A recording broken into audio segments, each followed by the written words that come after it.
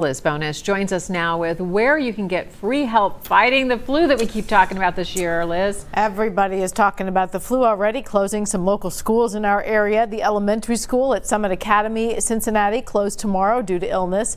So good timing for some free flu shots now available. This is one of seven area Cincinnati Health Department clinics where you can get the vaccine at no charge if you have not yet had it.